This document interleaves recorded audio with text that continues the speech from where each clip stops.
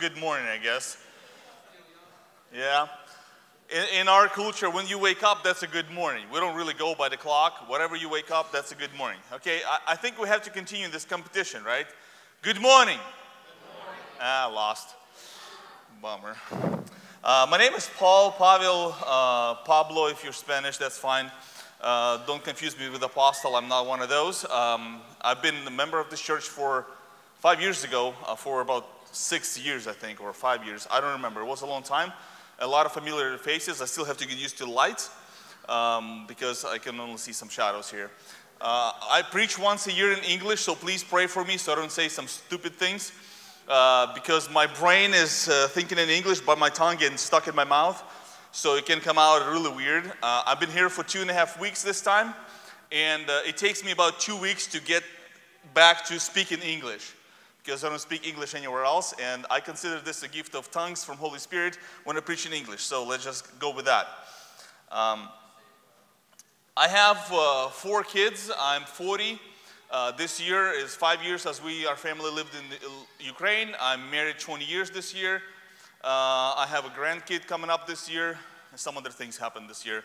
So I'm a young grandpa to be, and the family is very important to me because all of a sudden I realized that I'm a grandpa, though I wasn't really uh, planning on it, or it was kind of a joke when I got married at 20. I was joking that I'll be grandpa by 40. Well, 40 came, and I'm getting there. So it's not funny anymore. Um, not that it's a bad thing. I enjoy it. Uh, see, uh, it's a blessing, right, to have kids, to have grandkids. But uh, when that all came around, it, family become more important to me because I realize when they're little, you think they're going to be in your house forever. And then all of a sudden, they're gone. Like my son is not living in my house, he lives here and he's a member of the church. My daughter already married and she's uh, living on her own with husband and making babies there and kids for uh, grandkids for us. Uh, I have two kids left in the house and uh, you know I'm 40 and like this is empty house now because it was used to be four kids and six of us. Now all of a sudden it's just two of them. Uh, I'm one of those who never had one child. We had twins from the get-go, like it was a surprise too. So uh, house was always full of kids and all of a sudden they're gone. And now I start thinking, did I do everything right? Did I have enough time to raise them right? Did I make any mistakes? Is there something that I need to correct?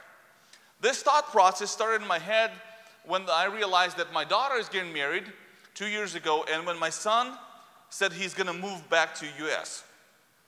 So I was uh, raising my kids in one style of uh, being a strict and uh, sometimes harsh father and then I realized that it's not really working because I need to build a relationship because after they move out from my house and my authority, everything I have is the relationship with them and I have to build that relationship. So a lot of my head is changed during those years and I want to share some of those changes, but I want to do from the Bible and uh, having a biblical story to it. The thing is, we all want our kids to succeed. That's just natural in our families. We want to see them see them uh, successful in life. We want to see him with education and uh, a good job and, uh, and so forth. And we have a picture of success for our kids somewhere in our heads. Sometimes it's even those things that we couldn't accomplish. So we want our kids to accomplish them for us, so to speak. But we have a picture of success. And we try to guide and kind of push our kids towards that picture of success. But the bottom line when we stop and think the success for our child is not education, is not high paying job, is not a family, is not a kids in the family. The success for our child is when they trust God. Not when they believe in God, but when they daily trust God. I call that a success. When their life is built in a way that it's everything is referenced to God they love and God they serve. That's a success. How'd you get there? What to do to raise such a kids? There, I know some very faithful parents that have very non Christian kids. And it's a struggle for me too, because my kids are still, some of them grown, some of them still, they look grown, but they're not grown you know how it happens and uh, some of them are way over, you know, like 16 going on, uh, or 13 going on 16, something like that. They're all different. But how do you, what, what you do? How do you live your life and uh, do family in the way that your kids would be like that? That's a challenge, would you say? It's my challenge and your challenge, and your challenge probably is even bigger challenge because you're in a different culture with different values. And it's, it's not easy because you have influence of the world and schools and everything on your kids and universities and so forth with very liberal agendas and you have a Bible on the other side that you want to teach your kids how to trust God through the Word of God. It's a challenge. And farther we go, the longer we live and more we see, we know that this is more of a challenge because all of a sudden your kid's exposed to internet. I wasn't exposed to internet at age 13. I didn't have a cell phone until I was 19. No, actually, I think it was 20. My first cell phone I got was on 4th of July uh, after I got engaged. So yeah, it was 20. I dated my wife, it didn't have a cell phone. Can you imagine that? Some, some people don't even know what it is. There is no text messages or Viber or whatever you guys use, WhatsApp or whatever. There was no Instagram. Now it's all available.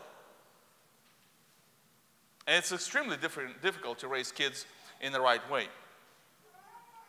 When we talk about faith, specifically today, when we're going to be talking about faith, I want you to think of the faith not as a set of values and beliefs.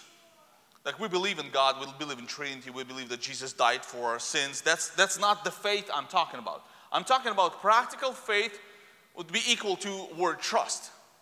Not that you believe something, but you act out because you believe something. That you trust God. If you don't know what it is, pull out your dollar bill, it's gonna say that. In God we trust. Put your name in there. In God you trust. That's the faith I wanna talk about. So, how do you live life so your kids would have that faith and you would have that faith? And how to set your kids on the right path with this faith because that's what they're going to need in the rest of life. I want to read from 2 Timothy chapter 1, verses 3 to 5. A story of a young man who had that kind of faith.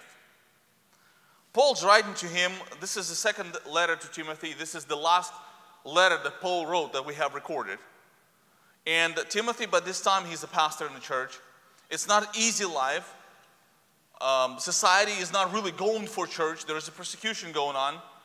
And in this era where it's not really easy to be a Christian, not really very easy to be a pastor, here's what Paul writes. I thank God whom I serve as did my ancestors with a clear conscience, as I remember you constantly in my prayers night and day. As I remember your tears I long to see you that I may be filled with joy. I am reminded of your sincere faith, a faith that dwelt first in your grandmother Lois and your mother Eunice, and now I am sure dwells in you as well. So Paul writes to Timothy, says, Timothy, I know life is not easy, and I know sometimes you're even crying because life is not easy. Being in ministry is not easy. Being a young person is not easy.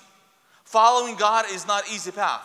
But he says, I remember you, and here's what I want you to remind. I am sure that the faith, sincere faith that was in your grandmother, Lois, and your mother, Eunice, is now, I am sure, dwells in you as well. The same faith that mama had, the same faith that grandma had, now grandson has it. That's a success. Wouldn't you say? That's a successful life. Now, before you think it was easy for Timothy, I want to say that wasn't easy.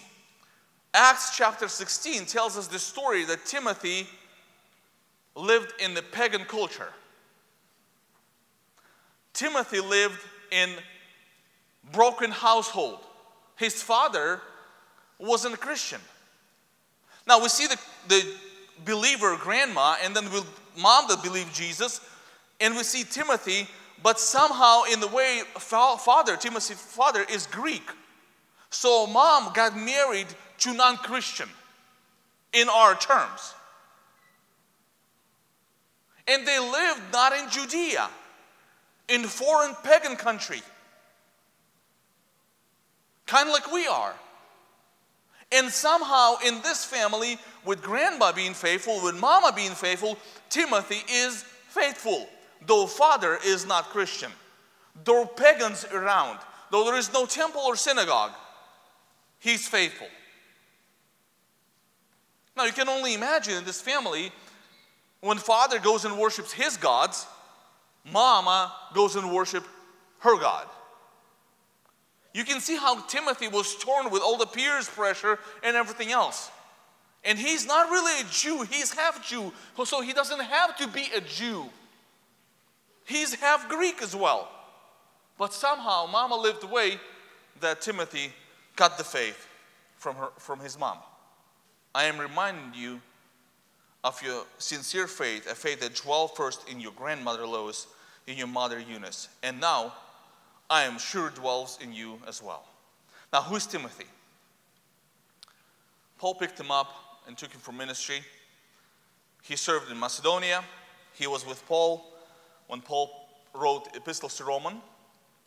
He served in Corinth. Paul sent him there. He co-authored Second Corinthians, Philippians, Colossians, First and Second Thessalonians. He co-authored with Paul. He was with Paul during all that time through ministry. Timothy already served with Paul, but at the end, when he has trouble, Paul says, Timothy, I want you to remember the faith of your mother and faith of your grandmother. Not my faith, not the ministry, nothing else, but your mother's faith. And I'm sure that that faith is in you. I don't know why Paul referenced that, not his ministry, not his example, nothing else but faith of his mother and grandmother. I think the answer is in Proverbs 22 6. Train up a child in a way he should go, even when, when he's old, he will not depart from it. See, what we plant, the seeds that we plant in our children when, when they're young, will grow when they grow up. The values we send to them and give to them when they're young, that's the values they will keep all their life. Paul talks about this faith as a sincere faith. Very interesting word to describe faith. For me, it means that mom and grandma, they were Christians not only on Sundays, not only when they went to church, not when other Christians were around so they would look Christian for them. That means that they were Christian 24 7. They lived as though God was there with them. See, our problem of today's generation is that we think that spiritual maturity equals spiritual knowledge. The more I know about God, the more spiritual mature I am. Wrong. That's not how it works. The more I trust God, the more spiritually mature I am. That's how it works. When you not know about God but trust God, when you have not knowledge about God but fear of God, that's when spiritual, spiritual maturity uh, is exposed. And, and with this sincere faith that Paul is talking about, his mother and, and grandmother, he probably knew grandmother as well and mother. He met them. He says, This is sincere faith. This is not something fake they were trying to present to look Christian before Paul. So Paul would take Timothy with them.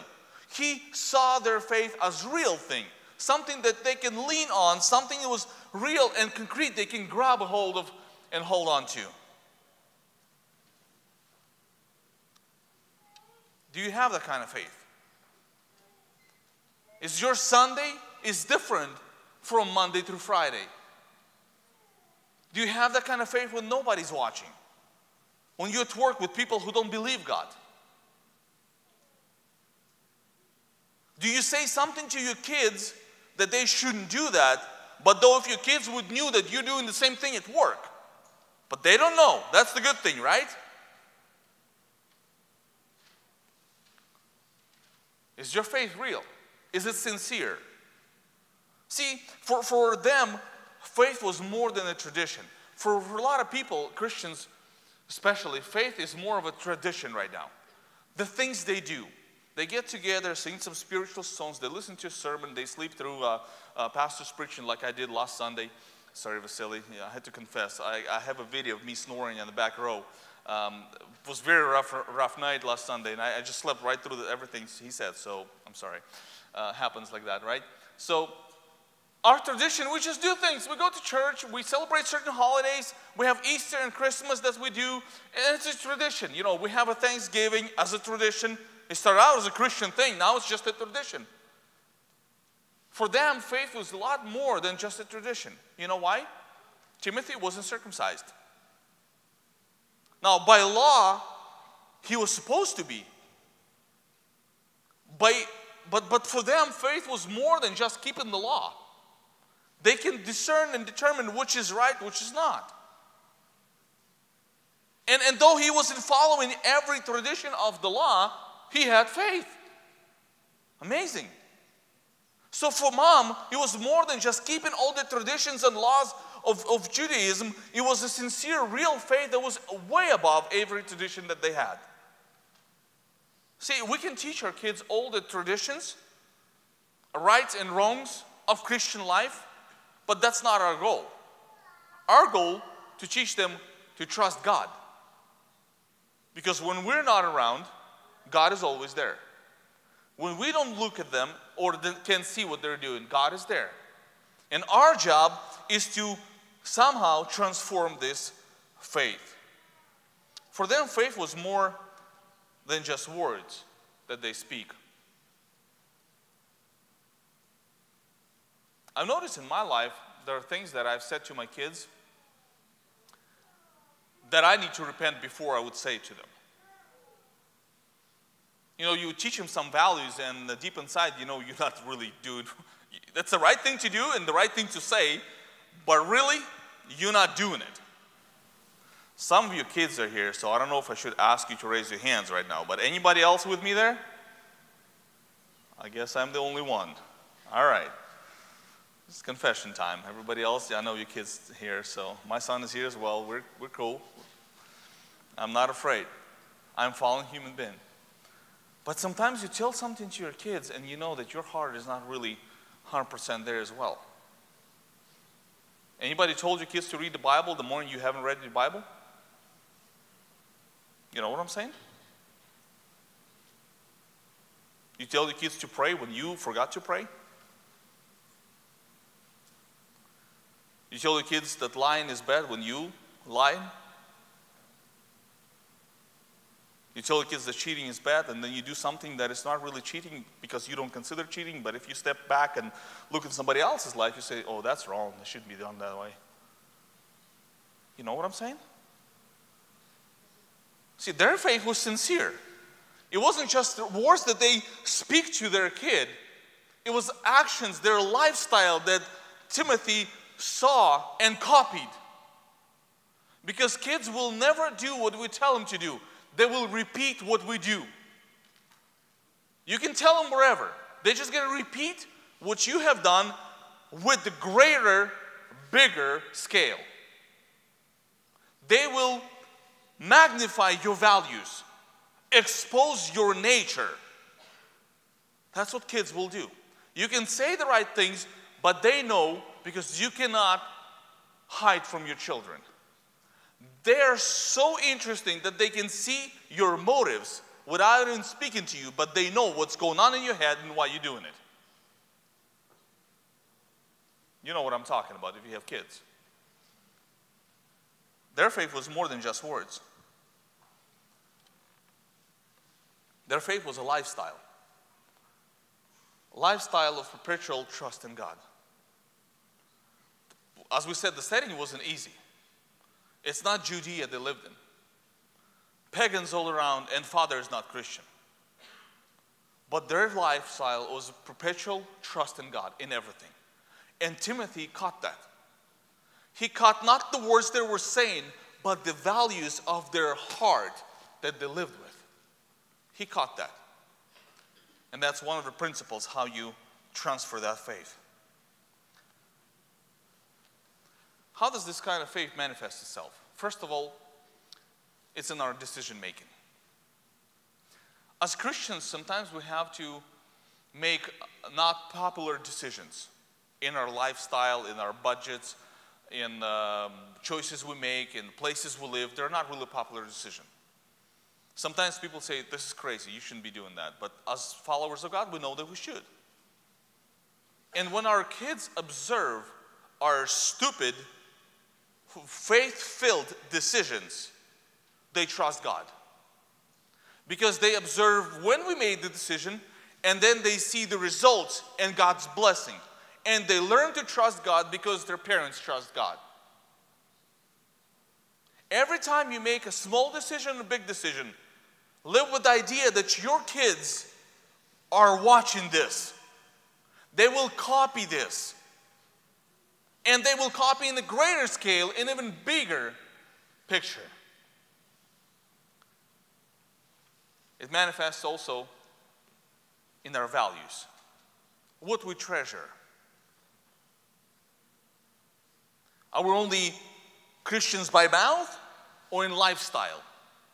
Do our words and life align? Do our values actually God's values?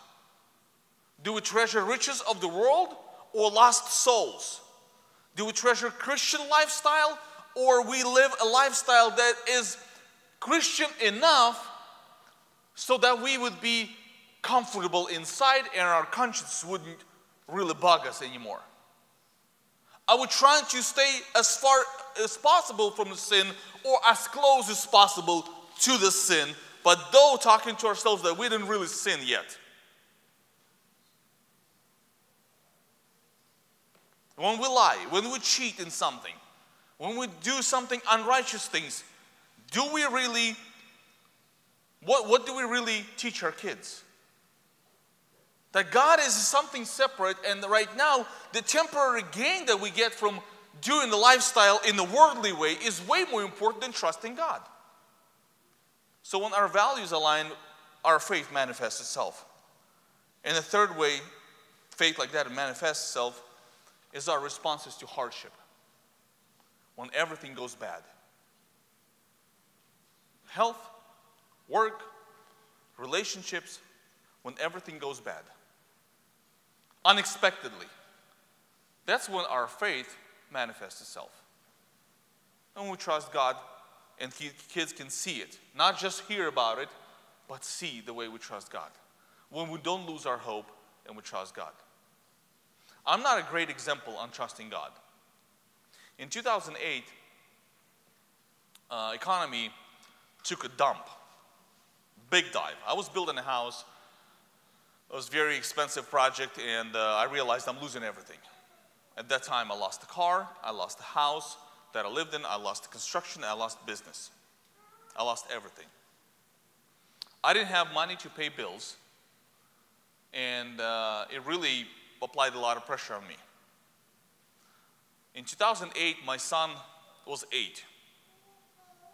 And I remember one Saturday I had to go and do some things, like go to the store or something, buy something. I don't remember what the story was, but I took him with me and I'm driving in, uh, in my truck and he's sitting right next to me. And I'm so uh, under pressure with all my things that are going on that I don't even speak. I don't spend any time with him. I'm just there on my own, trying to think everything out and figure everything out.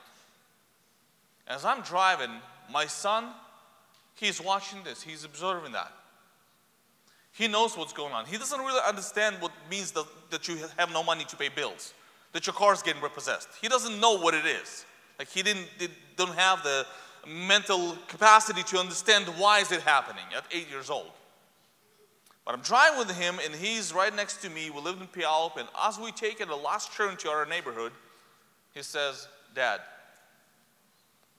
everything's going to be fine in heaven. Now I'm asking myself, when I had a downtime, my eight years old son was my support. So I'm asking myself, so what happened for these eight years of life that he is at age of eight is supporting me spiritually. At age of eight, he is my support. Not I am his support, he is my support. He sees my problem and he comforts me with everything I had going on. I don't know why. I don't know how. But somehow, he caught something in my life before. Somehow it happened.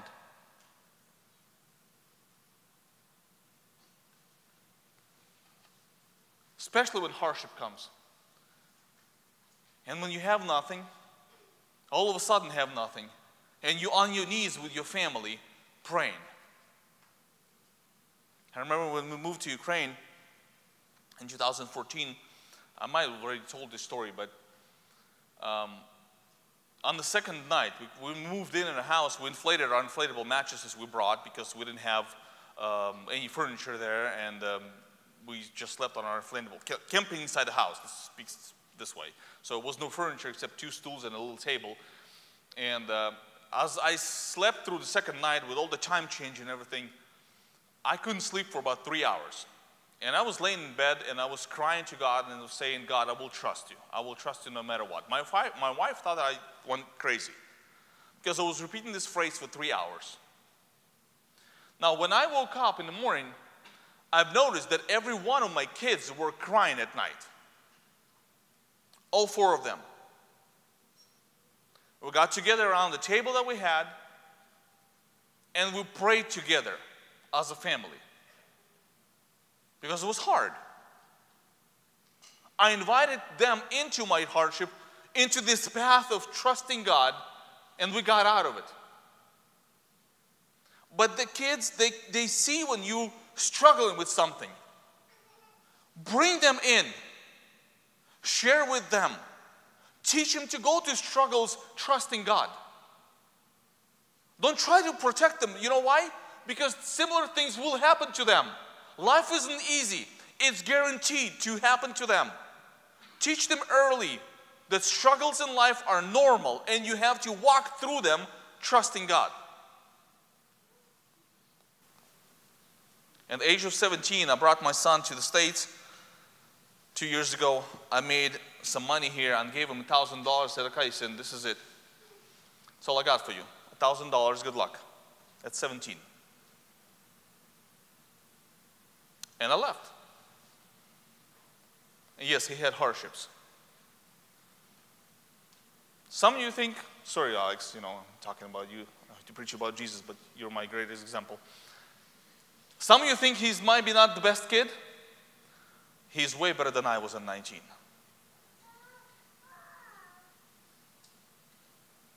Because when you teach your kids to go through hardships with you, when you teach your, teach your kids the values are important, when you teach your kids how to make decisions trusting God, they will copy that. They will copy that. So, how do you learn to live that life and how to demonstrate such a faith. First of all, do your inventory. Ask God, honestly ask God that He would look in your heart and say, point you to the places where you don't trust God. That you're doing things with your own personal ideas and your pers- personal worldview, where you don't trust the Word of God, but you do your, your own thing. Ask Him to point this in your life that you would confess that and maybe even confess in front of your kids for not giving them an example. Second thing you need to do ask your kids where you were a good example of faith and ask them where you were bad example of faith. Don't argue. Don't argue. If they say something, don't argue about it. Don't try to correct them. Don't try to explain to them. Accept it, pray about it, confess. If they haven't seen you as example of faith, you need to confess before them and say, This is wrong. I agree. I'm weak. Pray for me. I need to change this in my life and I need to trust God with this in my life. And I want you to trust God, but we have to go through this together and learn together because I'm not perfect. I'm just a human being. Ask your kids where, in what area of your life you didn't show them your faith. Where they cannot copy, where they looked at it says, This is bad. I don't know, my parents are doing that. I see, but they couldn't tell you because you're always right. They can't come up to you and say, You know, Daddy, Christians shouldn't do that. They know it, they talk, you know, to each other about it, but they can tell you, so go ask them. Ask them. And don't argue. Don't try to correct them. Don't try to make you look better. Just ask, accept, and go pray. Talk to your wife and pray about it and confess. And the third thing you need to do is to live your life with understanding that your kids are watching you. When they're not around, they're watching you. Because you are who you are. At work, at home, in church, they see everything. They know everything. They hear stories when you talk to your wife about your work problems. They hear stories in the car when you discuss family matters. They hear stories about church when you drive home. They know what's going on in your heart. They're close enough to you to know who you are, what you trust, how do you act. They know it all. Live with conscious understanding that they will copy that. They will copy not just a little bit of it, but everything in the greater scale. Because what you sow in their hearts will grow in their hearts. Always will grow in their hearts. If you want your kids to have straight, strong faith, it's rather simple. Learn to have strong faith. Trust God no matter what. And your kids will repeat that again. I know it from my life. I know it from the lives of many other people. For me, for me personally, my personal goal is when my kids look at Hebrews 11, they see my name in there. You know what I'm talking about. The heroes of faith of the past, that they would see me as a hero of faith of today. Someone they knew personally. Not just father, but the hero of faith who acted and trusted God. That's my goal. Am I perfect? By any means not. Am I trying? Yes. And I'm inviting you, inviting you too. Because that's the best thing you can pass along to your child. That they would have faith that you had and your parents had. Because that's what they need to succeed in this world. Amen.